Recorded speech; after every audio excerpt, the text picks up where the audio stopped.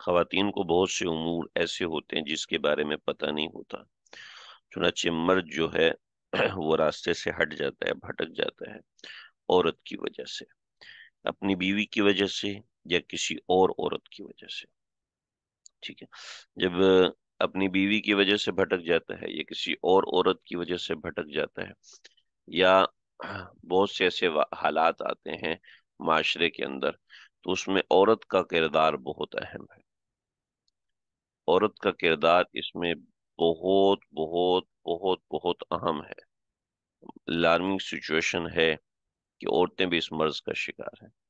और अपनी जिन्स तब्दील करवाना और इस नोयत की चीज़ें दुनिया में कसरत से हो रही हैं। हमारे मुल्क में भी हैं, लेकिन बहुत कम हैं, ज़्यादा ऊपर नहीं आती।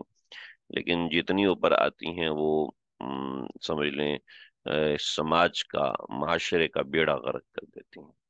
तो ये ऐसी चीज़ है जो बंदे को तबाह करने वाली है। मैं छोटी सी बात आपको समझा दूँ। मर्द है, उसको ख्यालात औरतों वाले आते हैं। औरत है, उसको ख्यालात मर्दों वाले आते हैं। जैसे खातून हैं, हमारे, सबक भी पढ़ रही होती हैं। उनकी बेटी है उनको खैरात मर्दों वाले आते हैं। जी मेरी तो बीवी होनी चाहिए थी और ऐसा होना चाहिए था वैसा होना चाहिए था। और ये वाक़ता एक्सट्रीम लेवल की चीज़ें हैं। ऐसा नहीं है और वाक़ता उस बंदे के साथ ऐसा हो रहा होता है। वाक़ता उस औरत के साथ ऐसा हो रहा होता है। हम इस बात का कोई इनकार नहीं कर, करते ना हम कर सकते हैं। वाक़ता एहसास होते हैं। आगा खान में एक डॉक्टर मुझसे रबता हुआ, कुछ अर्सा पहले, अभी भी रबते में जी, मेरे साथ ये प्रॉब्लम है लेडी डॉक्टर हैं, कि मुझे खातन में इंटरेस्ट है, मर्दों में इंटरेस्ट नहीं है। इसलिए मैं शादी नहीं करना चाहती करना चाहती हूँ तो मैं किसी लड़की से ही करना चाहती हूँ। क्या मैं अपने हार्मोन चेंज करवा के वगैरह वगैरह वगैरह सब करा के मर्द बन सकती हूँ? तो देखें, इसको ज़रा समझें। मैं इसको समझा दूँ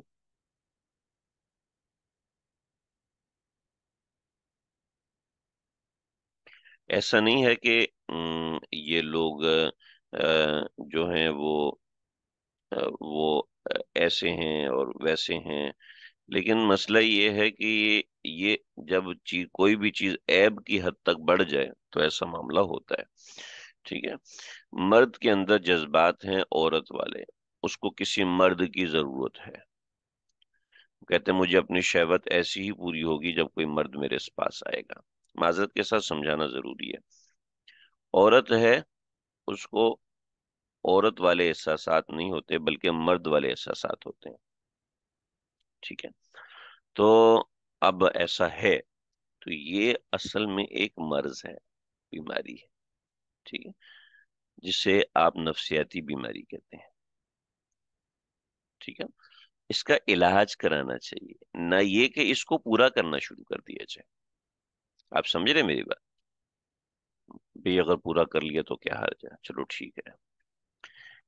एक औरत है, उसको ख्याल आना शुरू हो गया, मैं पाकिस्तान की वज़ीर आज़म हूँ।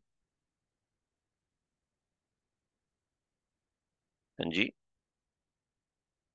तो क्या करेंगे? उस औरत का इलाज करेंगे या उसको पाकिस्तान का वज़ीर आज़म बना देंगे? ठीक है? ये थोड़ी बड़ी बात होगी। चलें, छोटी बात पे। एक औरत है, उसको ख्याल आना शुरू हो जाता है कि वो आपके शोर की बीवी है। ख्याल आना शुरू हो गया। मैं क्या करूँ? भाई, मुझे ख्याल आ रहा है, मैं आपके शोर की बीवी हूँ। मुझे ख्याल आना शुरू हो गया। तो अब क्या इस औरत को आपके शोर की बीवी बना दिया जाएगा? या उसका इलाज करवाया जाएगा? ठीक है, आपके शोर की बीवी बना दिया। तो उसको ख्याल आना शुरू हो गया कि मैं फुला के शोर की भी बीवी हूँ। मैं फुला के शोर की भी बीवी हूँ। मैं फुला के शोर की भी बीवी हूँ। ये अंदर के एहसास हैं और ये एहसास कभी तो सही होते हैं और कभी बीमारी होते हैं। ठीक है? तो जो एहसास बीमारी हैं, उनका इलाज होना चाहिए। न ये कि उनको प्रोमोट किया जाए। न ये कि उन ख्याल पर अमल करना शुरू कर दिया जाए।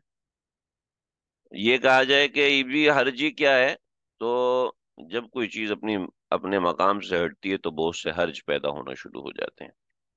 बहुत से हर्ज पैदा होना शुरू हो जाते हैं। जैसे किसी ने कहा ना भी, लोगों को बस वहम होता है कि औरत ने नकाब क्यों लगाया हुआ ठीक है?